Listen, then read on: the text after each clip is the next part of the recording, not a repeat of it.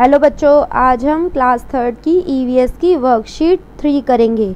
बच्चों इस वर्कशीट में आपके पर्यावरण अध्ययन की बुक का पार्ट तीन, पानी रे पानी के क्वेश्चंस दिए गए हैं। फ़र्स्ट क्वेश्चन है, हमें अपने दैनिक जीवन में पानी की आवश्यकता होती है। नीचे दिए गए चित्रों के आधार पर सही शब्द चुनकर लिखें। हमें इस क्वेश्चन में बॉक्स में कुछ हिंट दे रखे हैं, जैसे खाना बनाना कपड़े धोना, नहाना, बागवानी, पीने के लिए और सफ़ाई। इन शब्दों को हमें सही चित्रों के नीचे लिखना है।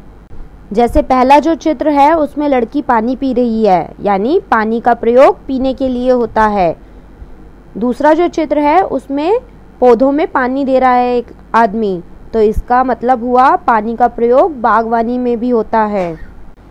तीसरे चित्र में खाना बनाने के लिए पानी का यूज़ होता है, ये दिखा रखा है। तो इसका मतलब इस चित्र के नीचे हम लिख देंगे खाना बनाना। अगले चित्र में बच्चा नहा रहा है, यानी पानी का प्रयोग नहाने के लिए भी किया जाता है।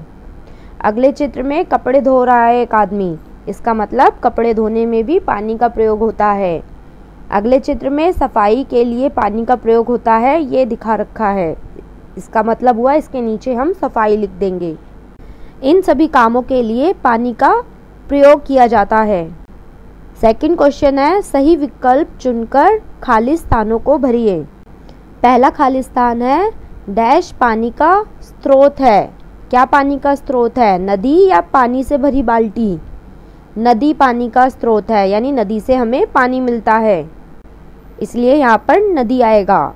नेक्स्ट खालिस्तान है फ्रिज से बाहर रखने पर बर्फ़ डैश में बदल जाती है। भाप में या पानी में? जब हम फ्रिज से बर्फ़ को बाहर निकालते हैं तो वो पानी में बदल जाती है पिघलकर। तो इस खालिस्तान में पानी लिखेंगे। नेक्स्ट सब्ज़ी धोने के बाद बचे हुए पानी को डैश चाहिए। क्या करना चाहिए सब्ज़ी धोने के बाद बचे पानी को? पौधों में डालना चाहिए। नाली में फेंकना नहीं चाहिए, पौधों में डाल देना चाहिए, यानी उसका दोबारा से प्रयोग करना चाहिए। नेक्स्ट है पानी गर्म करने पर डैश में बदल जाता है। भाप में या बर्फ़ में? भाप में बदल जाता है। जब हम पानी को गर्म करते हैं, उबालते हैं तो वो भाप में बदल जाता है। नेक्स्ट है, दिल्ली डैश नदी के किनारे स्थित है। कौन सी नदी के किनारे स्थित है? नर्मदा या यमुना? यमुना। दिल्ली यमुना नदी के किनारे स्थित है। थर्ड क्वेश्चन है, इन कामों को करने के लिए आपको कितना पानी चाहिए होगा? मग भरकर पानी चाहिए होगा या बाल्टी भरकर पानी चाहिए होगा, वो हमें बताना है।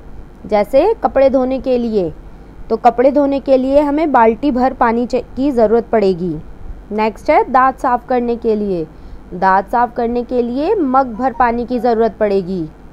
नहाने के लिए। नहाने के लिए भी बाल्टी भर पानी की ज़रूरत पड़ेगी। आटा गूंदने के लिए। आटा कम पानी में गूंदा जा सकता है, इसलिए मग भर पानी की ज़रूरत पड़ेगी। नेक्स्ट पीने के लिए। पीने के लिए अगर हम एक बार में पियेंगे तो मग भर पानी की ज़रूरत पड़ेगी। बार बार पीते हैं, पूरा दिन पियेंगे तो बाल्टी भर पानी की ज़रूरत पड़ेगी।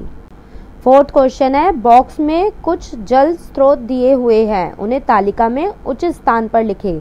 हमें बॉक्स में कुछ शब्द दिए हुए हैं, जैसे झील, नल, नदी, नहर, कुआँ, झरना, टांका और सागर। हमें बताना है कौन से जल स्रोत मानव निर्मित है और कौन से प्राकृतिक है। प्राकृतिक मतलब हमें प्रकृति ने ही दिए हैं और मानव निर्मित मतलब हमने उन्हें बनाया है।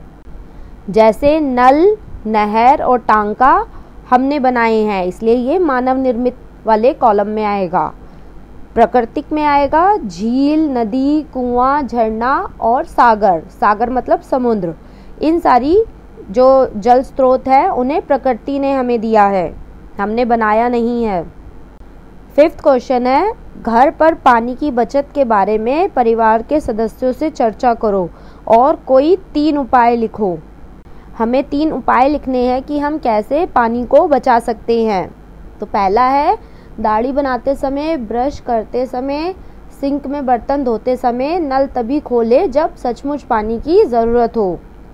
अगला उपाय है, नहाते समय शावर की जगह बाल्टी या मग का प्रयोग करें।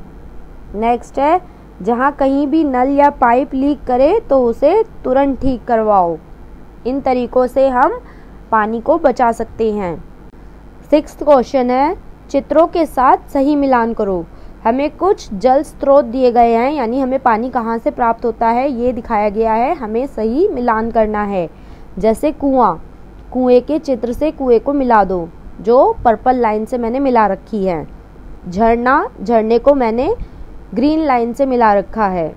समुद्र समुद्र को रेड लाइन से मिला रखा है और नदी को ब्लू लाइन से मिला रखा है मैंने। नेक्स्ट क्वेश्चन है क्रियाकलाप। हमें एक एक्टिविटी करनी है, जो हमें चित्र दिए गए हैं, उन्हें हमें कॉपी में बनाना है और उसमें रंग भरना है।